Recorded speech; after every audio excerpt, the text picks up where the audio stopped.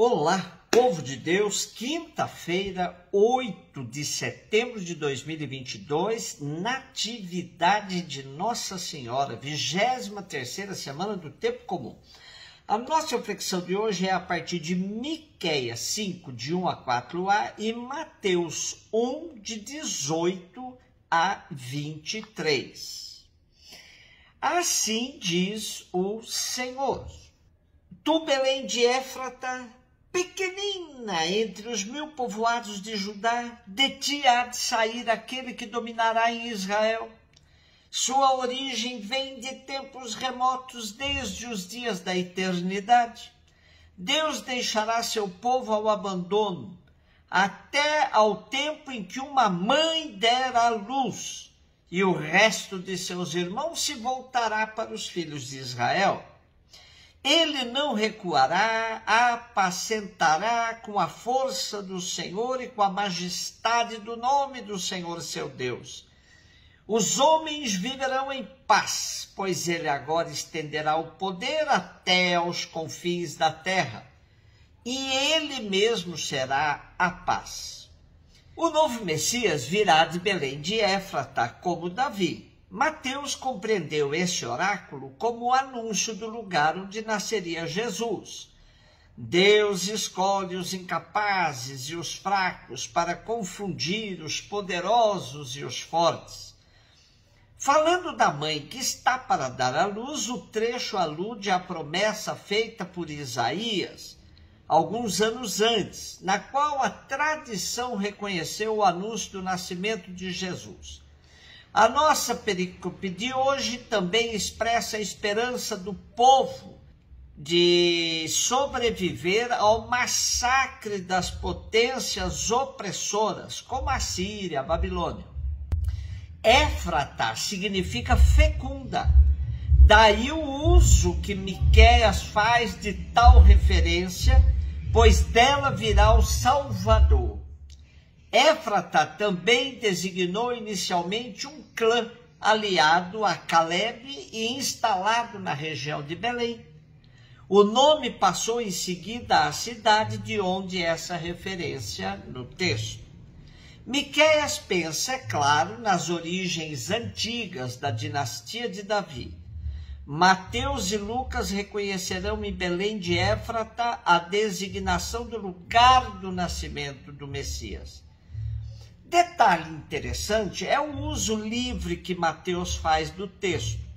Pois em Miqueias temos que Belém era pequenina entre os mil povoados de Judá.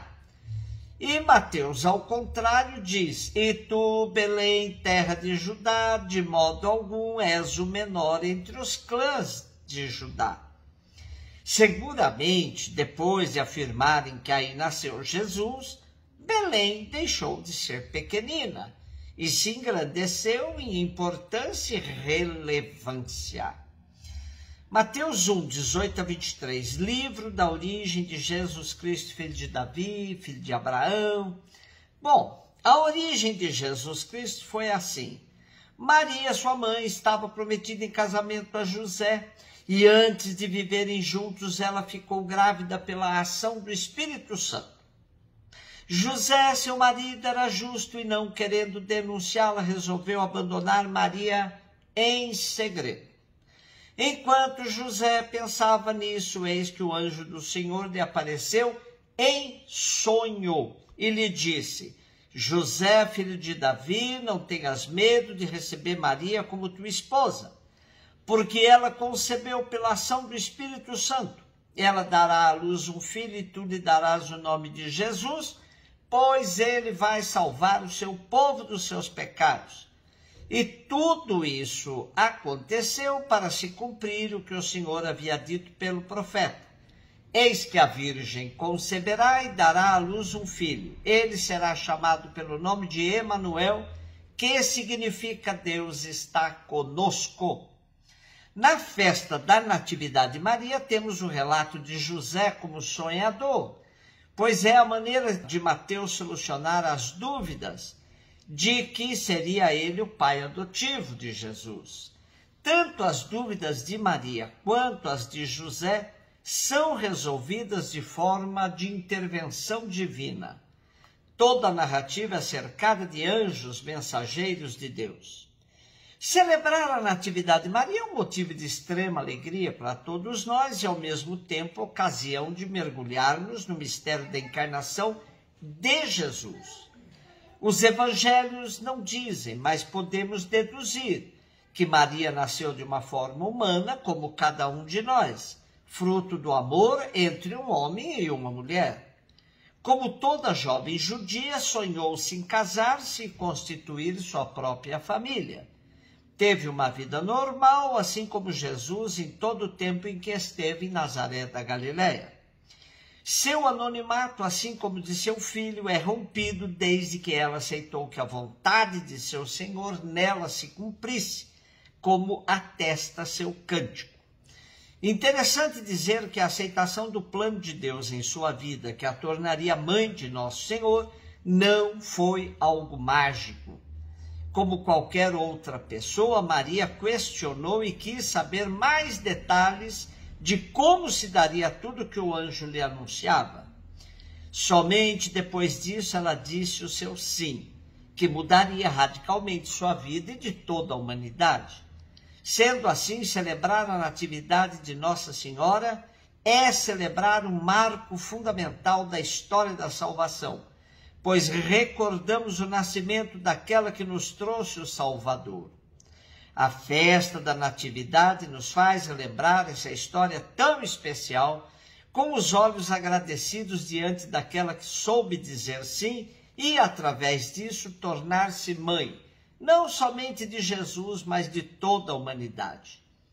Essa memória litúrgica da Natividade de Nossa Senhora remonta ao século V, quando foi edificada em Jerusalém uma igreja, onde os apócrifos indicavam como lugar da casa de Joaquim e de Ana, pais da mãe de Jesus. São desconhecidas as razões da data de 8 de setembro. A Igreja Oriental soleniza a Natividade de Maria como início do ano litúrgico. E no Ocidente, a partir de Roma, as primeiras celebrações surgem no século VII. A Bíblia não nos dá informações sobre o nascimento de Maria, mas ele foi uma realidade importante na continuidade do projeto divino da nossa salvação. Daí que vale a pena meditar sobre esse acontecimento à luz da fé em Deus, que na sua misericórdia quis salvar a humanidade com a colaboração de Maria, nova criatura, cuja entrada no mundo hoje celebramos. Para nos darmos conta da importância do nascimento de Maria, devemos considerar que o seu protagonista é Deus. As fantasias dos apócrifos indiciam fé nesse protagonismo. A liturgia aponta para a presença e o protagonismo de Deus no nascimento e na vida de Maria. Os oráculos de Miqueias têm em vista a maternidade, isto é, a fonte de um nascimento projetado por Deus. A releitura de um outro oráculo pelo mesmo evangelista vê na Virgem que dá à luz a mãe designada pelo próprio Deus e envolta no abismo místico da comunhão com o Espírito Santo, o Senhor que dá a vida. A importância do nascimento de Maria também se deduz pela verificação da sua presença entre aqueles que foram chamados por Deus conforme o seu desígnio, desde sempre conhecidos, predestinados, justificados glorificados. Um beijo no seu coração.